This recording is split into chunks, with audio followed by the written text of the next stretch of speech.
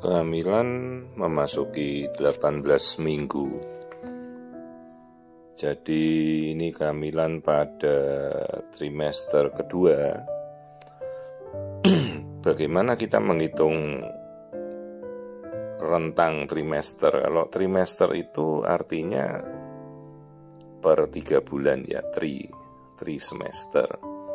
Kalau hamilnya 40 minggu, total kan 9 bulan 10 hari atau 40 minggu ya kita bagi 3. Jadi kalau dibulatkan kan sekitar 13 sepertiga minggu per trimesternya. Jadi trimester pertama ya antara 0 sampai 14, kemudian trimester 2 15 sampai 28 minggu dan setelahnya itu trimester ketiga jadi ibu ini datang pada trimester kedua awal 18 minggu dan ya sebenarnya paling pas itu ya sekitar 24-25 minggu ya kalau kita mau screening.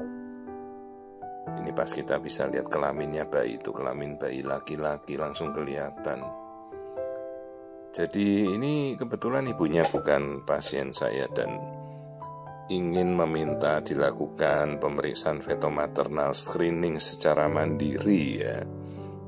Jadi tidak dirujuk, ya silahkan, tapi memang akan lebih baik kalau dirujuk ada referral letternya. Jadi kita tahu kan datanya ibu ini selama kehamilan, bagaimana gitu ya. Jadi ibu-ibu bisa kok meminta kalau misalnya di kota Anda ada pemeriksaan yang dilakukan oleh konsultan veto maternal, ibu-ibu bisa meminta. Tapi kalau memang tidak ada referral, rujukan ya bisa melakukan pemeriksaan mandiri gitu ya. Jadi kalau di wilayah seperti di luar negeri, Amerika, Eropa, Australia, bahkan Singapura, Vietnam, mereka melakukan pemeriksaan maternal fetal medicine screening oleh konsultan ya maternal fetal medicine konsultan atau fetal maternal dirujuk pada trimester pertama, trimester kedua dan kadang trimester ketiga. Nah seperti ini kita melakukan screening trimester kedua yang sebenarnya baru nanti 24 minggu. Ini kita melihat itu wajah bayi ya dari potongan memanjang kelihatannya tulang hidungnya itu yang kecil warna putih. Di depan di bawahnya hidung persis. Dan yang putih juga kelihatan rahang atas rahang bawah dan tulang bagian depan jidat ya bagian depan dahi. Nasal bone itu selalu kita cek untuk melihat kesesuaiannya apakah ada kelainan seperti Down syndrome ya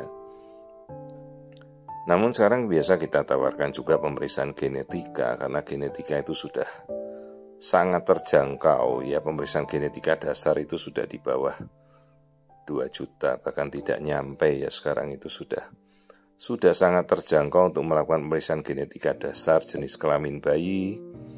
Kemudian kromosom dasar kromosom trisomi 21 18 13 itu sudah di bawah di bawah 2 juta rupiah sekarang ya sejauh uh, di kota Anda tersedia dan lab Anda bisa melakukan pemeriksaan itu langsung ya. Dan memang sebaiknya labnya itu sudah ada di tanah air dengan alat-alat yang tersedia di tanah air, jadi tidak, tidak perlu ngirim ke luar negeri lagi. Di Indonesia sudah bisa kok pemeriksaan genetik NIPT itu. Nah ini struktur otak kita melihat seperti kupu-kupu ya, jadi gampangnya diingat bentuknya seperti kupu-kupu putih itu adalah korteks cerebral, otak besar. Nah, kita bisa melihat ini lapisan-lapisan otak seperti kita melihat CT scan ya, tapi ini kita memakai gelombang suara USG biasa. Jadi ini hanya pemeriksaan standar biasa ya. Dan ibu-ibu bisa lakukan misalnya pada dokter kandungan Anda atau bisa minta dirujuk ke veto maternal kalau ada di kota Anda. Mestinya sekarang di hampir semua kota besar sudah sudah ada ya karena pendidikan ini untuk konsultan subspesialis veto itu sudah cukup dibuka luas. Ya, kita bisa melihat lapisan-lapisan otak, bentuk kepala itu oval ya, telur seperti seperti oval telur begitu, ya. Nah, kalau bentuk kupu-kupu putih di tengah tidak ada, hati-hati hidrosefalus. Jadi harus sudah terlihat sejak awal. Nah inilah pemeriksaan sekitar 18 minggu kita mulai lihat dari tempurung kepala, struktur otak simetris ya. Bentuk otak kiri, otak kanan, ya bentuk tempurung kepalanya juga normal, tidak ada yang rusak atau coel begitu ya karena kadang-kadang ada kasus akrania bayi tidak punya batok kepala terus ini lensa mata Diingatkan juga sudah pemeriksaan TORS sebab belum toksoplasma rubella, sitomegalovirus biasa kita anjurkan seawal mungkin. Jadi jangan TORS baru dilakukan trimester akhir, kita semakin awal semakin baik kita tahu. Jadi kalau Anda tidak dilakukan pemeriksaan, coba tanya, dok kok tidak dilakukan pemeriksaan tokso rubella kenapa gitu. Biasa kita lakukan untuk screening dasar. Nah, kita sekarang melihat struktur jantung janin. Ingat, pemeriksaan ruangan jantung itu sangat penting dan kita tahu pelajaran sekolah zaman kita IPA di kelas 4 SD dulu ya ruangan jantung itu ada empat namanya dua serambi kanan kiri dan dua bilik kanan kiri ya jangan sampai lupa Nah ini struktur jantungnya ya bayinya bergerak terus dari yang harusnya kita baru kita 24-25 minggu kita bisa geser 18 minggu. Ingat ya, bukan bukan masalah dari USG-nya. Alat USG itu sekarang tuh standar. Tidak perlu mempersoalkan mau dua dimensi, tiga dimensi, empat dimensi. Sekarang ada yang promo lima dimensi lah. Ada lagi nambah enam dimensi lah Nggak usah pakai dimensi-dimensi, mau nanti jadi 10 dimensi juga bisa mungkin. Tapi kita kembali pada USG yang standar saja, di mana kita melakukan dengan kompetensi dan legalitas kita ya. Kita ada batas kewenangannya masing-masing gitu. Jadi USG standar saja. USG sekarang itu sudah sangat-sangat maju ya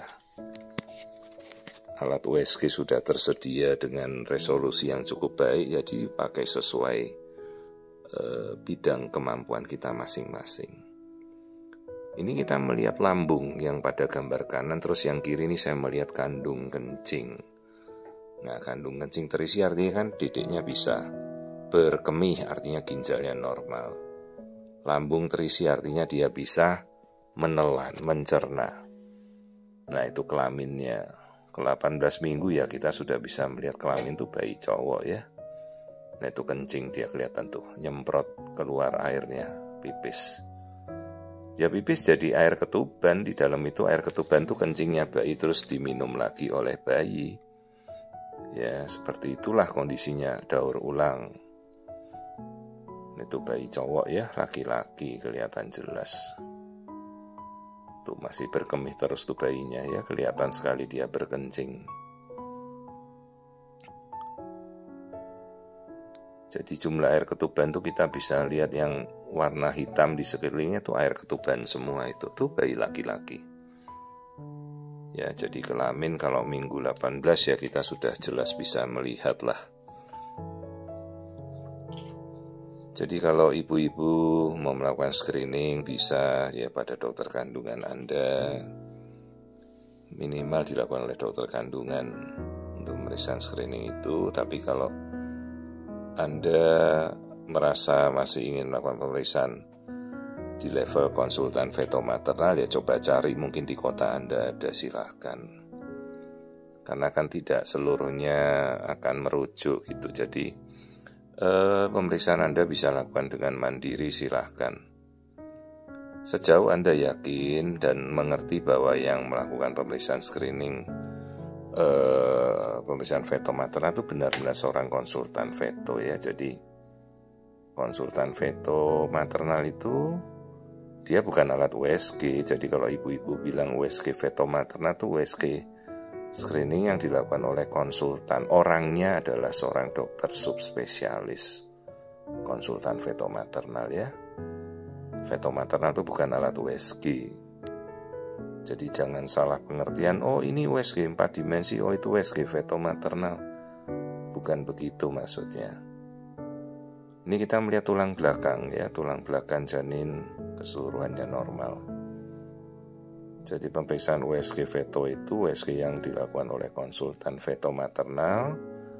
Nah, konsultan veto maternal dia ada gelar subspesialis KFM, konsultan veto maternal namanya. Bisa kok dicari dan pastikan gelarnya benar ya. Jadi tidak ada katanya USG tiga dimensi rasa serasa veto ya ndak ada itu tidak tidak benar istilah seperti itu. Jadi jangan bingung dengan USG 3 dimensi, 4 dimensi atau USG istilah 5 dimensi lah 6 dimensi. Jangan terbuai dengan istilah seperti itu. Pemeriksaan USG itu adalah pemeriksaan USG standar saja. Ya ini kita melihat kondisi janin semuanya tampak normal tuh tangannya sudah bergerak-bergerak dan ini awal mula dia mulai merasakan si ibunya merasakan gerakan bayi ya pada minggu 18. Keseluruhannya normal. Jadi bayi bergerak dengan baik ya lalu kita jangan lupa ukur biometri. biometri itu mengikuti meliputi pengukuran tempurung kepala, lingkar kepala, diameter kepala terus lingkar perut kemudian panjang tulang paha terus nanti keluar logaritma berat badan. Jadi di atas 17 minggu kita sudah mengukur berat janin ya tidak mengukur panjangnya lagi. Karena kalau panjang itu sudah selesai di 17 minggu nggak mungkin kita semakin ukur terus menerus nah, jadi tempatnya tidak muat lagi ya dan bayi sudah terlalu besar untuk diukur panjang. Jadi akurasinya nanti kita mulai mengukur berat janin. Nah inilah 18 minggu. Itu tadi yang gambar kiri atas itu tempurung kepala. Terus ini kita mengukur lingkar perut.